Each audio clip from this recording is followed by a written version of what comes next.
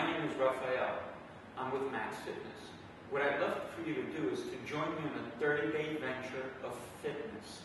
We're going to be working out every day, a minimum of five minutes. I have a timer so that you can do at least five minutes every day for the next 30 days and get in the best shape of your life.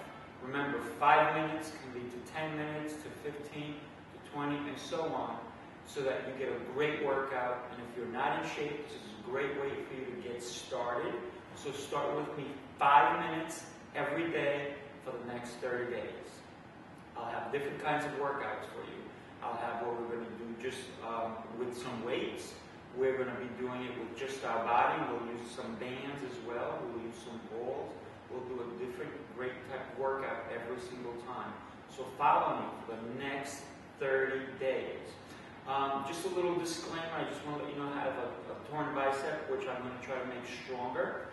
Uh, I'm not making excuses, I just want to let you know I do have a little bit of limitations, which I'm going to work through and make my biceps stronger. So within the 30 days, I should have a very strong bicep.